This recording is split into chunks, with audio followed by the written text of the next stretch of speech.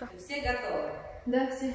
Итак, сегодня мы с вами разобрали три вида шагов, которые базовые шаги мы используем в наших танцах. Первый шаг у нас это был приставной. Ну, мы не берем такой простой шаг, который идет просто, да, шаг у нас обычный. Мы берем шаг, который мы часто можем использовать в танце. Это приставной. Открыли, приставили. Открыли, приставили. Влево, вправо. Если мы идем влево, то, соответственно, с левая нога открывает, правая всегда представляется. Если мы идем вправо, значит, правая открывает, левая представляется.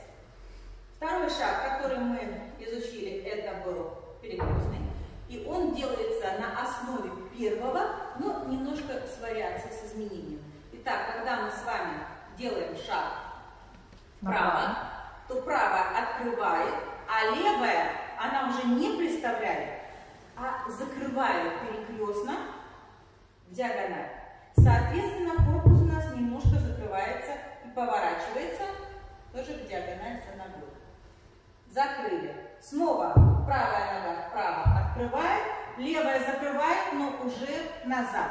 И мы немножко разворачиваемся влево. Куда левая нога ушла, туда мы разворачиваемся. Раз, два, три, четыре. То же самое влево. Раз, два, три, четыре. На полупальчиках часто шаг используется. Смены корпуса в диагональ. Влево или вправо диагональ. И третий шаг, который мы с вами изучили, мы его условно назвали. Еврейский, да, возвратный. Когда мы вперед и вернулись назад. Вперед и вернулись назад. То есть ножка у нас ушла вперед, вернулась назад. Часто накладки идут на шине, на удары и так далее. То есть этот шаг очень часто тоже используется. Вперед, назад. Вперед, вернули назад. Куда взяли, туда вернули. Поэтому возврат. Три основных типа шага. А показать спиной, пожалуйста. Итак, приставной. Открыли,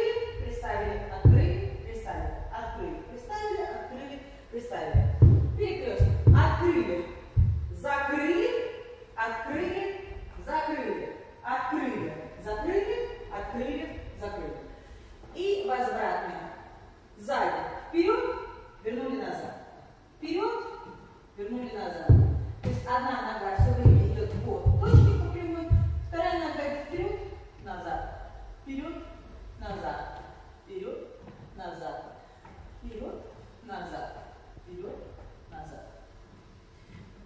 Еще есть вопросы? Сегодня мы еще с вами проработали а, базовый ритм максимум.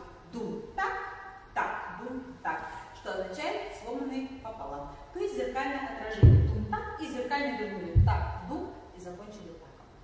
Все, в принципе, на этом, на сегодняшнем уроке мы разобрали основную часть, говорили о том, что музыка у нас квадратная, по квадрату ходили, а, использовали все типы шагов, направление двух точек вверх, вниз, вперед, назад, влево, вправо в трех плоскостях.